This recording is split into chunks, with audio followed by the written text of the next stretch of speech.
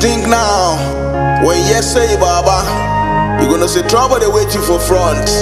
Stay away from spiritual money, stay away from fraud. It took carry many consequences with no peace. Are money.